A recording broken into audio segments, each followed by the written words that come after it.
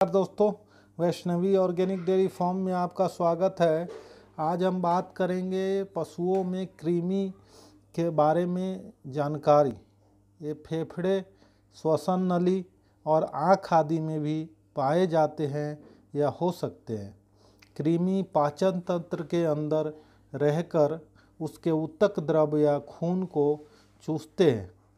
कृमि तीन प्रकार के होते हैं, फीता कृमि गोल कृमि क्लूकस कृमि संक्रमण के लक्षण हैं, दूध उत्पादन में कमी, प्रजनन क्षमता में कमी, अधिक दुर्गंध युक्त दस्त या गोबर, निचले जबड़े में पानी भर जाना और व्यस्त, व्यस्तता में देरी। रोकथाम। मतलब कृमि नाशक दवाई आयु एक वज़न के अनुसार 10 से 15 दिन में प्रथम टीकाकरण या कृमिनाशक दवा का इस्तेमाल करना चाहिए। छः से छः महीने तक हर महीने कृमिनाशक दवा का इस्तेमाल करना चाहिए। छः महीने से बड़े पशु में साल में दो बार, बारिश से पहले और बारिश के बाद और तीन बार कृमिनाशक दवा का इस्तेमाल करना चाहिए। कृमि का लक्षण कभी कभी खूनी दस्त हो सकता है, दूध उत्पादन में कमी हो सकता है, कृमि का काम है, जो भी आप खाना दो, जो न्यूट्रिशियन जानवर को मिलता है, वो सारा न्यूट्रिशियन कृमि ले लेता है। हमको लगता है, मेरा जानवर हेल्दी है, स्वस्थ है, खाना खा रहा है, लेकिन जो पोषक खाने में है, मिलना चाहिए, वो सारा पोषक कृमि खा जाता है।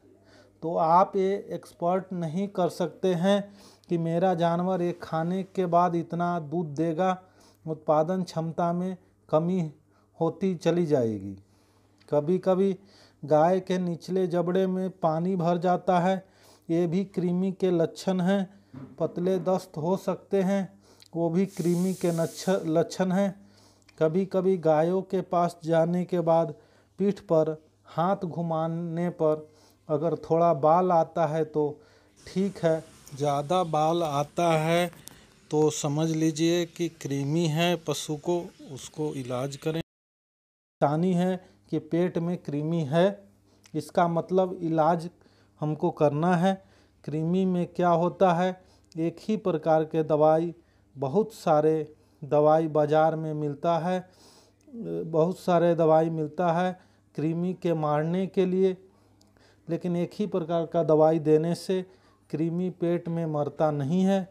राजा की तरह ज़िंदा रहता है, ये दवाई रोज़ खाता है, मेरा क्या होना है?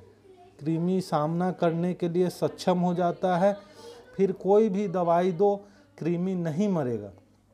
हर साल और डेढ़ साल में कृमिनाशक दवा चेंज करनी है, तभी ये दवाई कृमि से लड़ने के लिए सक्षम नहीं हो पाएँगे। नई दवाई है तो काम करने वाली है तो एक प्रकार प्रगतिशील किसान क्या कर सकते हैं? कैलेंडर में लिख कर रखें कि छः महीने पहले मैंने ये दवाई दी थी, फिर अगले तीन महीने में हमें कौन सी और दवाई देनी है? इससे, कृमि से लड़ने का क्षमता और हम उसे, उस पर असर ज़्यादा कर सकते हैं और जड़ से ख़त्म कर सकते हैं।